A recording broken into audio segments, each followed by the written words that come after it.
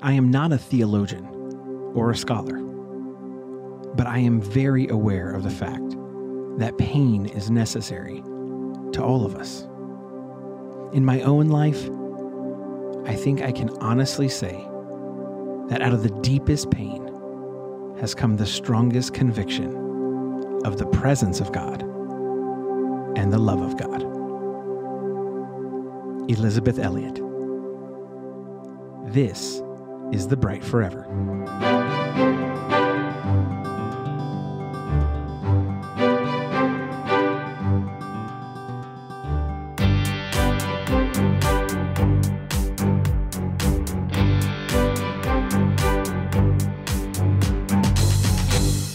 Hello, and welcome to The Bright Forever, where each week we rediscover the power and richness found in some of the greatest hymns of the faith. My name is Andy Peavyhouse, and I am your host and your guide on this, our adventure through hymnody. It is great to be back with you this week. We took a few weeks off for the holidays after completing our first themed series, Hymns of Advent. If you are still in the mood to hear some amazing songs from the Advent season, you can always go back and listen to our series and celebrate the holidays all over again. I am super excited for what lies ahead for the rest of our second season. Before we jump into our hymn for this week and our very special guest, I want to say thank you to everyone who listens to this podcast, specifically those who listen on Goodpods. We just found out that on Goodpods, our little podcast is not just in the top 100 worship podcast, but we are in the top 10. The Bright Forever is the number six worship podcast on Goodpods. We are also number 17 in the top 100 prayer podcasts and 35 in the top 100 church podcasts of all time.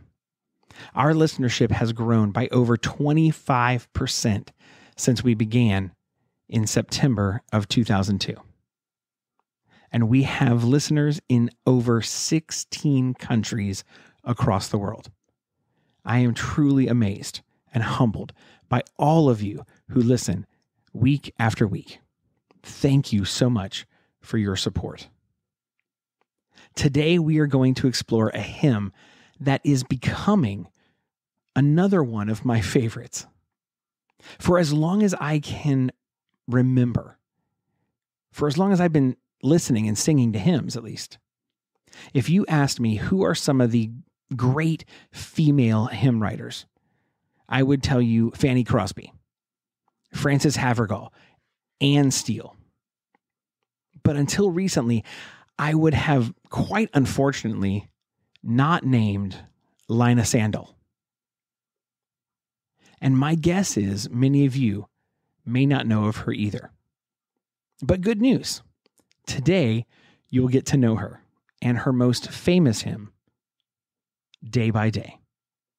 An amazing hymn of assurance and trust in God's daily provision and grace for every moment of life. And to add to this incredible song, we have an incredible special guest my aunt, Pam Eubank, to talk about tragedy and the will to persevere in the face of overwhelming circumstances. But before we get to our special guest, let's find out who Lina Sandell is, or at least who she was, and what compelled her to write this extraordinary hymn.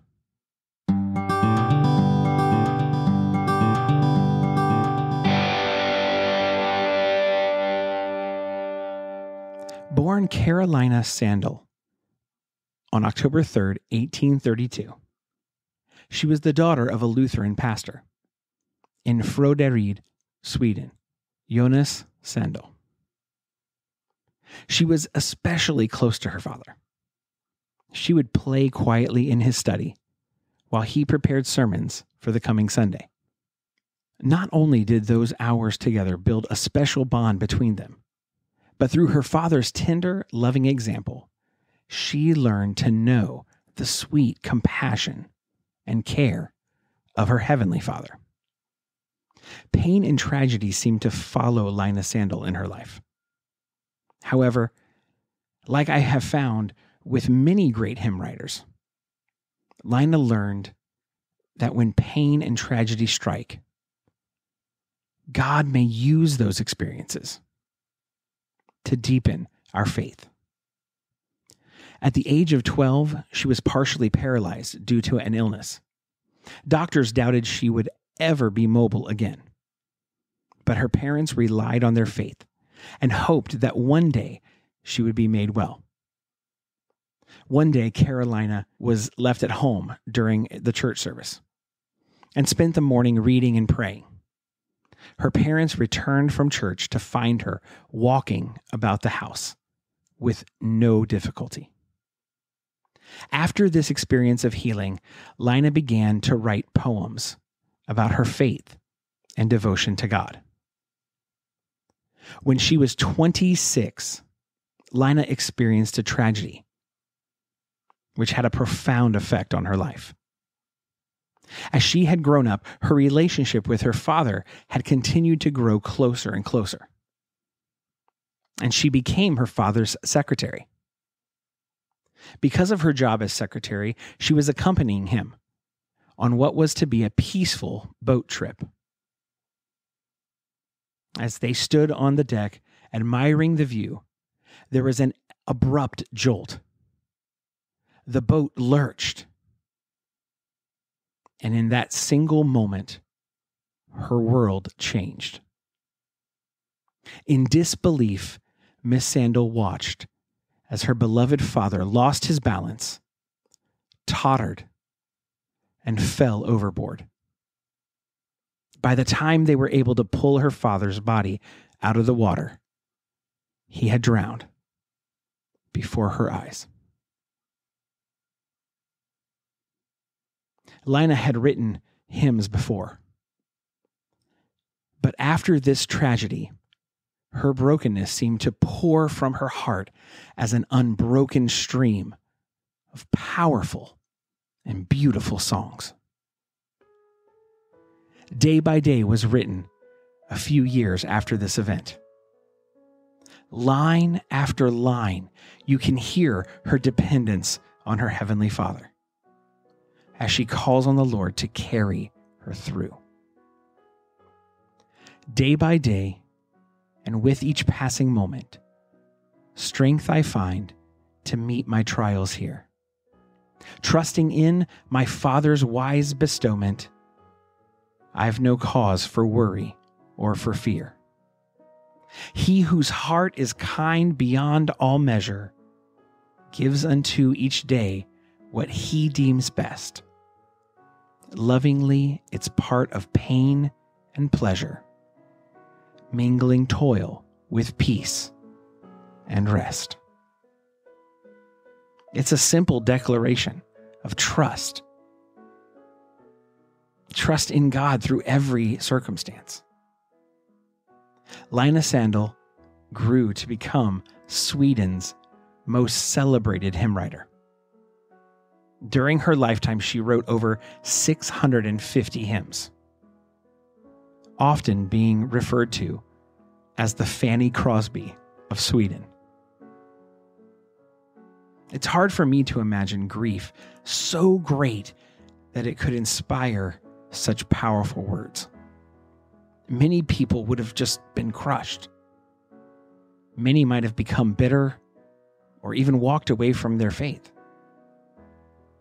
But because Sandell's father pointed her to Christ and his love, she looked to him. And day by day, and with each passing moment, she found perfect comfort and consolation. Now, let's look a little deeper into what this hymn is saying to us. And for that, we have a very special guest my aunt, Pam Eubank.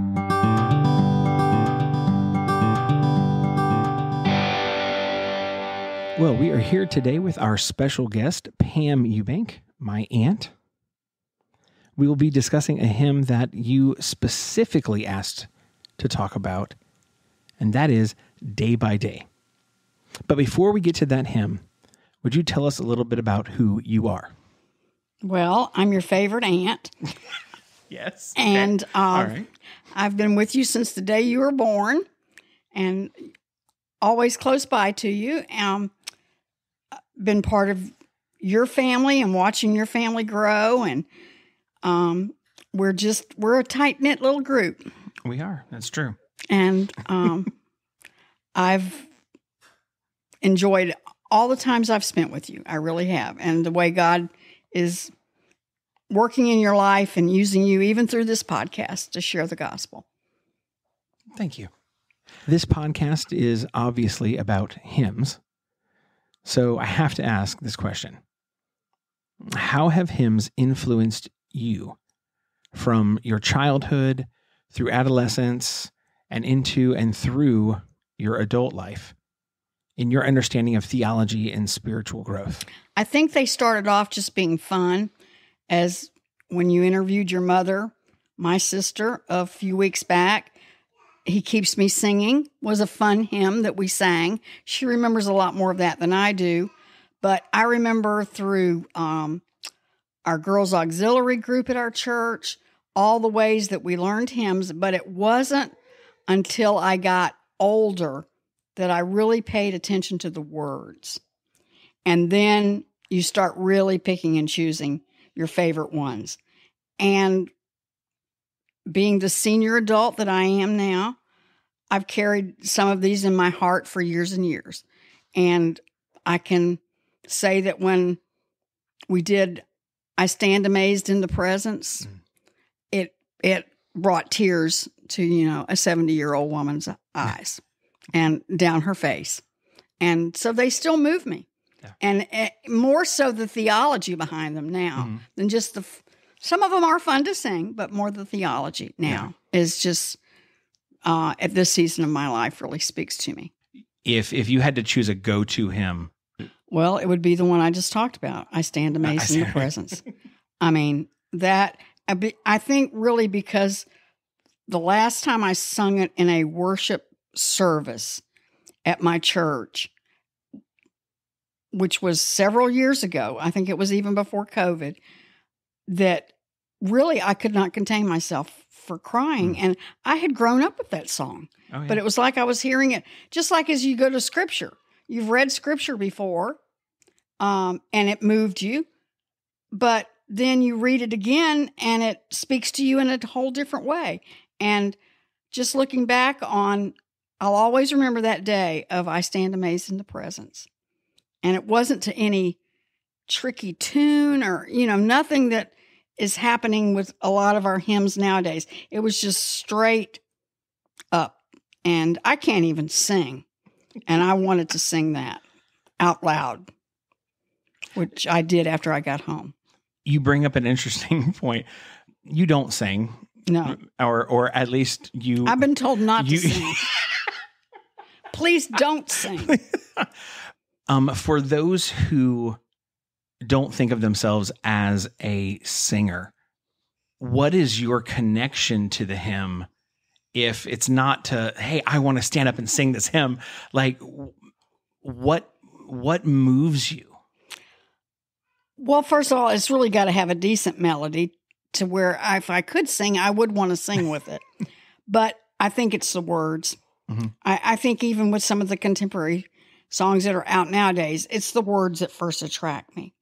And while I don't belt out a song when I'm in worship, there are times that I'm singing very low to myself because I just I have to. Yeah.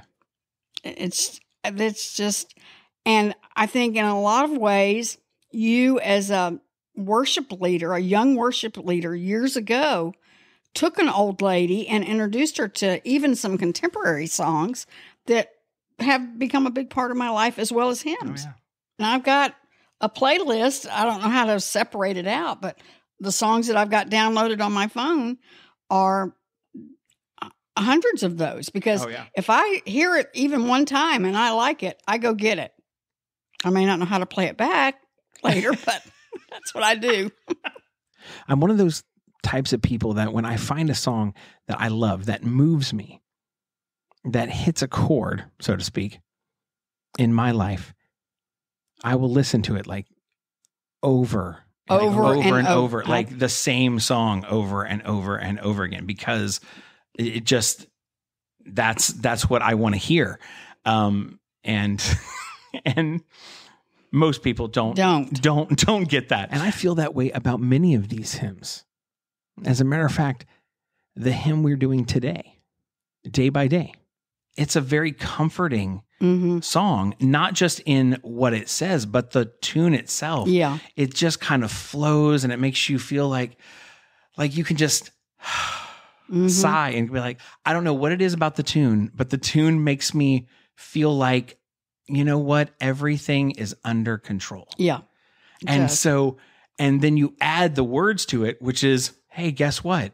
Day by day, God has everything under control, even Yeah. in the midst of tragedy, even in the midst of hard and difficult circumstances, it's under control. And the Mhm. music comes along with it and makes you go, hmm it's going to be okay. It may not seem like it now, but it's going to be okay. It's very soothing. hmm It, it, it is very soothing. Yeah. This hymn is about how the author deals with the tragedy around her and her trust in God through every circumstance. When I asked you what song you would like to talk about, there wasn't even a hesitation. You said day by day. So I have to ask, what is the connection between this song and you? Well, I, I don't remember it as a child, but I do remember hearing it as a young adult. And at that point in time, it was, like you said, it was a soothing melody and really strong words about trusting God day by day. And it, I don't know if I can say that it was in the Baptist hymnal. It's number 222. And it was, it was sung a lot for me at that point in my life because my husband led music sometimes at churches and he knew it was my favorite song and with every, all three verses it just um, it just spoke to me it wasn't until much later that the theology became more real to me Mhm. at times that i didn't of course suffer what the author did but at times it f- you felt like you were going under. And it was always this song that just resonated in my head I've no cause for worry or for fear. Mhm. Even though all around me was very turbulent. I don't want to put you on the spot, and I know I know all of the story. But do you want to talk about your own personal tragedy? Well, it's up to you how much you want to use, but you know, a husband of more than 25 years just walked out of our lives. Um, and we had no clue Mhm. that this was coming. I mean, everybody was shocked. Because he did lead music sometimes at churches. He was director of Sunday school. And um, that was very hard for me. And at the same time, I was facing some health issues. I was a registered nurse and I had scoliosis really bad. And so I was facing health issues with surgeries. And this all coincided together. And um, when it did, I did feel like my world was coming down. And I did have to learn to trust in God day by day with each passing moment. Mhm. And it's like I told you earlier, there wasn't a time in the last, because now it's been 25 years since that happened, but there hasn't been a time in those 25 years, even through these surgeries, that my feet have not hit the floor every day. And that was only by the grace of God. Before we begin recording, you said something to me that I think was so amazing. I hear your story, or I hear about others whose lives have met incredible tragedy. Like so many of these hymn writers' stories, with lives filled with sickness, tragedy, and yet they learn to trust in God. And I say to myself, I don't know if I could do this or I can't imagine being able to get through that. And you said before we began that God doesn't give us uh what was it? God does not give us grace for our imaginations. Mm. God doesn't soothe our imagined concerns or our worries about the future. No. He is giving us grace day by day. That that every morning is new. We Mhm. wake up His and it's a new, new. his mercies are new every morning. His grace is there for that day. Because we are not promised the road that's 10 or 15 years down the line. No. Or we're not even promised the road to tomorrow. No. And if you had told me at the time of what I seem to remember is one of the hardest times I've been through, if you had told me that was going to happen, I would have told you I could have not survived it. Yeah. I Yeah. would I would have said that to you. But then Paul says, Your grace is sufficient for me. Mhm. And he says, My grace is sufficient for you because your power is made Mm, perfect, in what? My weakness. Yeah. When I am weak, Then you're You are strong. strong. and and that th- one of the things that I have found more and more doing this podcast is how many of these hymns are born out of that tragedy? Mm-hmm. Because that's the time when when we are at our weakest when we do not think we can go on that is when God's grace steps in and sees us through that mm-hmm. and and walks us through that and moves us through that in ways we didn't even know we had the ability to do. Like there like i i look at circumstances like yours and i go god if it happened to me i don't i don't think i could have done it I, and and he's telling me andy you don't have to No. you're this is not your situation. Hmm. You don't need grace to get through this time. Your aunt needs the grace to get through this time and I'm giving her that grace. Well, and when you're going through these trials and you lived it with me, mm-hmm. your family lived it once they learned you were living it day by day right along with me.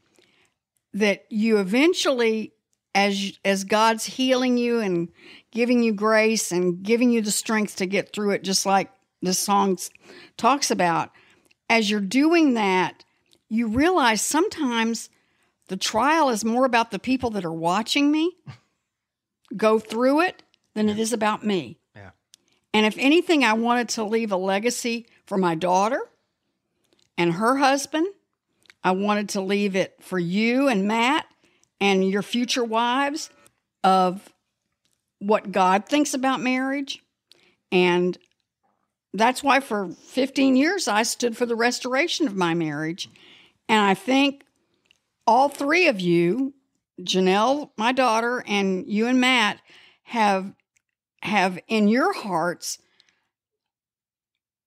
somehow realized the importance of the permanence of marriage, even with the hard times you've gone through. We know Matt has. I know Janelle's had some struggles, but you guys are a testament to um, what could have been a legacy of brokenness being a legacy of faith and restoration. And um, that's what God does though. Yeah. He takes our brokenness, our ashes and turns them into beauty. And I don't say this lightly or to say I'm I'm glad this tragedy happened to you. But God took what was sin against him and against you and the circumstances caused by that sin that could have had huge effects Mhm. on our family but because of the grace he was giving you to make it through to trust in him to Mhm. continue to persevere to to to work it out with him holding you and guiding you and moving you through it that instead of it becoming this huge tragedy where we all just give up or leave the faith because I've seen it happen. and they leave church. They mm-hmm. drop God because if God is going to let this happen, then I don't think he's he's who he says he is or this or that. But instead, you persevered, and because of that, I think our family has grown stronger, Yeah. and we've trusted God more Yes. and and and I'm and I, I'm not saying that to be like, oh, Aunt Pam, you're awesome. No. No, I'm saying that to say God is awesome in the in what He does and the way He helps us and moves us and and He does it day by day, moment by moment. Mhm. One of the things I love in the third verse is where it says, Help me then in every tribulation, so to trust thy promises, O Lord, that I lose not faith's sweet consolation offered me within thy holy word. We ask for God's help in those hard times, but we trust his promises Mhm. because he promises that he's going to be there, that he's going to help us. In Matthew 6, where he tells us that we don't need to worry because he takes care of the sparrow and he takes care of the flowers of the field, and that if he's taking care of them, if he's supplying their needs, how much more will he supply ours? Amen. and to trust those promises. And we can get through the trials and the tribulation and the problems and the pain of living a life in a world that has been corrupted and fallen by sin. And there's going to be pain and there's going to be anguish and there's going to be things that that hurt and that are hard. But we can trust in his promise because if he's taking care of the flowers, how much more is he going to take care of those who he has made in his image, Amen. who are worth more to him than gold, more to him than all of the riches this earth can hold? He loves us. At that point in time, Andy, you put a stake in the ground Mhm. of what he helped you through.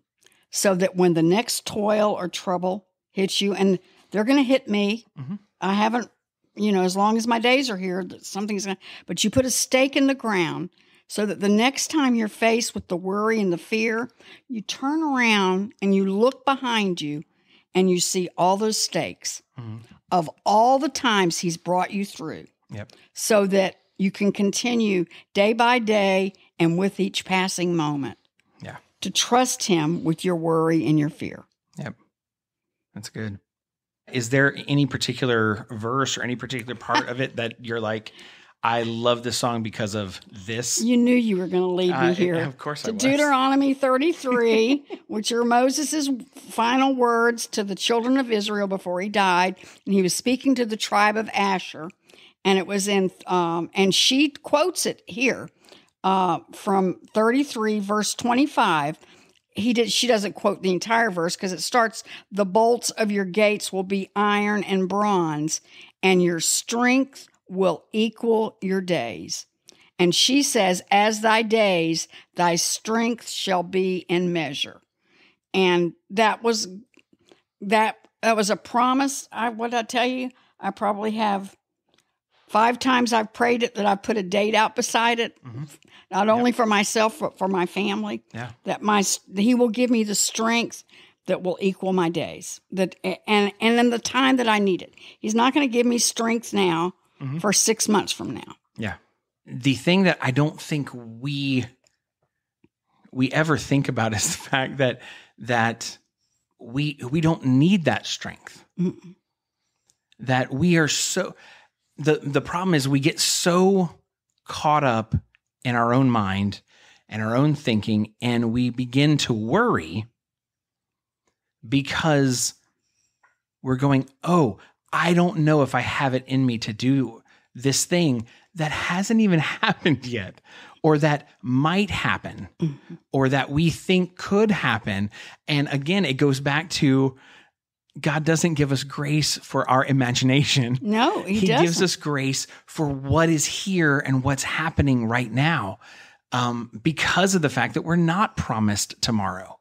That we're promised today. And what are we going to do with his grace today? Because he's giving us grace today to get through today. And today might be a really, really bad day, a really hard day. And we have the grace to get through that day.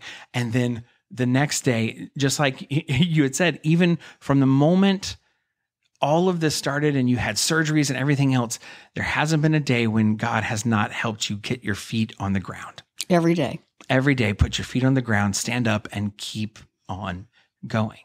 When the housing bubble burst, and uh, there were people on Wall Street in sky rises that were jumping out because they had lost everything, because their identity was found in how much money they had, or their investments, or their jobs.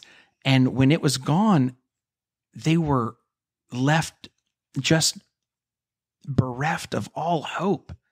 And so they thought the best thing for them was death. And that's what happens when we put our identity in anything other than the source of our true identity, which is the image that we bear, which is God. Well, because you make that your idol. Mm-hmm. And so I took, I had a husband that I, quote, idolized. Mm-hmm. And then I had to come to the revelation of perhaps you were loving God's creation more than you were loving the creator. Mm. The creator is who I should idolize. And then all these things will be added unto you. Yep. Does it mean a trouble free life? No. No. But as long as your focus and is on the idol of God, God being your idol that you love more than anything else around you, then when the other things around you start crumbling, you know, it's kind of like Peter walking on water. Mhm. He's fine as long as he kept his eyes on Jesus. Yeah.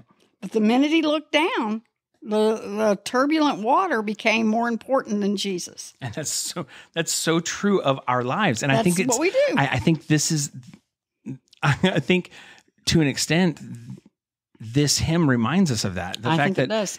it's a day by day. You have to be telling yourself this stuff every day. You have to be reminding yourself.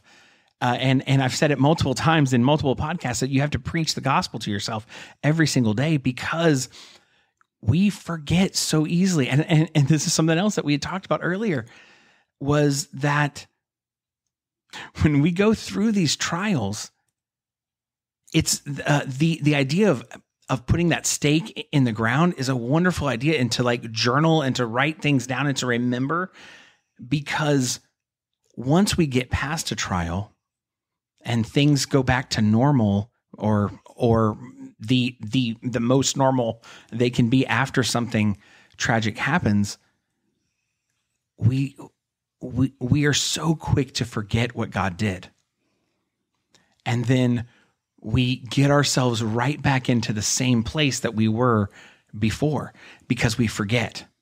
And we have to recall it day by day, moment by moment, trusting God, going, God, I don't have the grace for today. You have to supply that. You have to make that grace new in my life again this morning so that I can put my feet on the ground and I can keep on going. And even when things get back to normal ish, I have to remember that. I have to remember that the grace, I have to have your grace for every single day. I've got to remind myself of what you've done for me, of who you are, of who I am because of who you are, so that I can keep going. Amen. And it, she says it here, Andy, in verse 1. He gives unto each day what he deems best. Mm-hmm. Yeah. So by the end of the day, I can be snarly and, you know, ticked off about this and that. But my day's going to end with exactly the way God planned it to end. Yeah. And I either submit to that and have him change that snarly attitude, or I'm going to be sad. Yeah. And that's what she's trying to tell us because lovingly it's part of pain and pleasure, mingling toil with peace and rest. Mm. And that's where we that's that's where I want I want to be I want the peace and rest part. I really too. do. Me too. Well, and and as as as you look back um, on these hymns that we've that you've highlighted in these last couple of years, your mom's "He Keeps Me Singing," um, "You Beat Me to I Stand Amazed in the Presence." Even if you look to the old rugged cross, without those songs, we can't do a day by day. Mm-hmm. Because if he doesn't keep me singing, I will never be able to trust him day by day and with each passing moment. yeah. So that's what that song reminds me because I told you, I think when we were talking about doing a day by day, if I didn't believe he keeps me singing, I could never trust him for a day by day. Yeah. And that's how all these hymns, like you said, it all goes back to the gospel. It does. And it takes us back to the gospel, whether we're in a trial right now or we're skipping down the road because he keeps me singing. Yep. It all is about the gospel. It's all about what God has done for us and who He is and His love for us and His grace for us. And it's every day, day by day, moment by moment, as we walk through this life, we trust Him until we reach the promised until we reach the promised land. Yeah. The bright forever. yeah. Hey. uh, well, thank you for joining me. Well, thanks for having me. It was fun. See, it wasn't as scary as you thought No, be, right? I mean we'll we'll see how much you edit. Which you and mom both. quite a bit. You and mom, mom. Well, okay. So last time when I when I recorded mom last time, uh, I I think it was almost an hour and a half of of stuff that we recorded. So yes, hey, I something for the I had- future. Your mom and I together. That that would just be fun. Yeah. That would just be fun. Well, I, I I would just have to make sure that that there's no like you can't fight during Yeah. it. You can't we argue. don't fight. we don't. We had, but we would be fun. It would be Yes, fun to do for us to do a hymn together. It would be fun. It would absolutely be fun. Actually, it would be fun one time to just sit around with just you, mom and dad, Matt, Amber, At the- Put a mic at the dinner all- table. Just have a put a put a mic at the dinner table. Have us all sit around, and You'd be that, editing a lot. that would be that would take a lot of. Uh, I, I would have to chop that one up a lot, but but it would be fun. This has been. This has been fun. Well, thank you again. And if you ever want to have me back, I'll figure out another hymn. All right, sounds like a great plan. Okay. Thank you. Bye. Bye.